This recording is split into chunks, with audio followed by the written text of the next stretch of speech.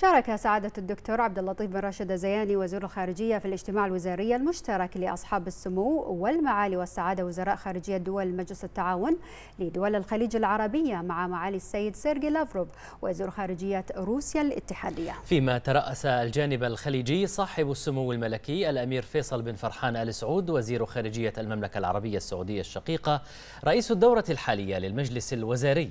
وذلك بمقر الأمانة العامة في الرياض بحضور معالي الدكتور نايف فلاح الحجرف الأمين العام لمجلس التعاون.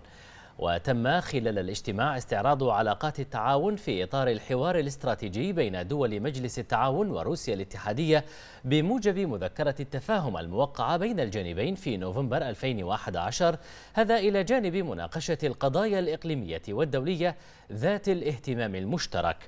وبحث الجانبان تطورات الوضع في أوكرانيا وانعكاساته على الأمن والاستقرار في أوروبا والعالم والاقتصاد العالمي والجهود التي تبذل لاستئناف المفاوضات بين الجانبين الروسي والأوكراني للتوصل إلى وقف إطلاق نار وتسوية النزاع بالطرق الدبلوماسية. وقد أكد المجلس الوزاري أن موقف مجلس التعاون من الأزمة الروسية الأوكرانية قائم على مبادئ القانون الدولي وميثاق الأمم المتحدة والحفاظ على النظام الدولي القائم على احترام سيادة الدول وسلامة أراضيها واستقلالها السياسي وعدم التدخل في شؤونها الداخلية وعدم استخدام القوة أو التهديد بها.